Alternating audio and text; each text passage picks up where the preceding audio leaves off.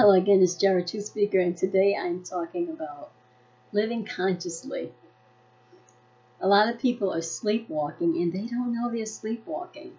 If you tell them that, they'll say, I'm awake, because they think you're talking about a physical act. Sleepwalking spiritually means you are not living consciously.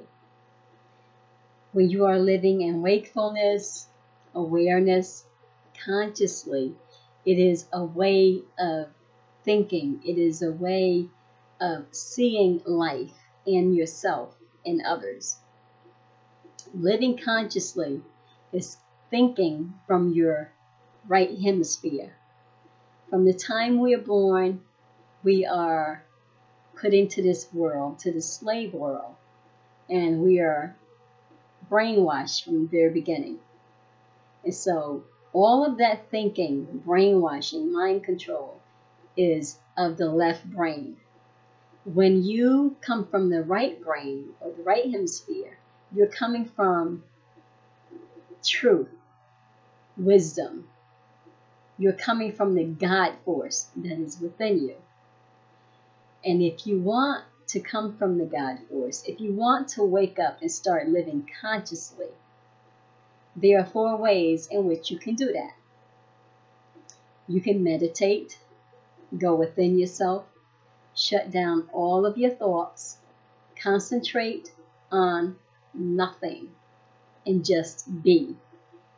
That is meditation to reconnect with the God force that is within you. Number two, you can sun gaze. Look directly at the sun at the right time, either sunset or sunrise. When you are experiencing this, some people actually look at it whenever they want to. But I suggest that you do your homework on that. You look directly into the sun, and the sun starts opening your pineal gland.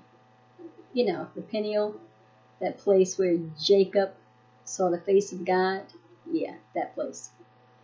Number three, you can fast. You can stop eating for a few days and you will become spiritually in tune, connected with the God force that is within you. It is a deprivation of um, the body. You're depriving the body of food and the brain of food. And so you will become more spiritually aware Number four, you can drink ayahuasca. Ayahuasca provides you with a spiritual experience. It is just that if you don't continue with meditation or some of some sort because that's what it gives you. It's like bam, when you drink ayahuasca, bam, you are there. If you choose to wake up, drink ayahuasca, and you can get to know who you are in the body. And you'll see that you are not the body, that you are a being in the body. You are connected to all things. When you drink ayahuasca, the thing about that is when you drink it, it would be a good thing to continue with the meditation because otherwise it becomes just an experience. You need to stay connected to the God force in some way. So after you drink ayahuasca and you get connected, you want to stay connected by meditating. So those are the ways that you could actually start living a conscious life so that you could be happy and peaceful and joyous and generous and grateful and have a fulfilled life, a successful life. And success does not necessarily mean having lots of money.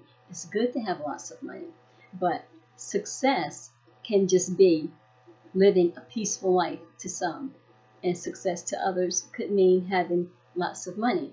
But you can have lots of money and be happy and joyful, generous, peaceful, and free. So, those are the ways that you can actually start living consciously and be peaceful, joyful, happy at the same time. And of course, loving. So, once again, meditation, sun gazing, fasting, and ayahuasca. If you know of any other ways, please let me know. I would love to hear from you. Until next time, love, light, peace, meditate, and do your homework.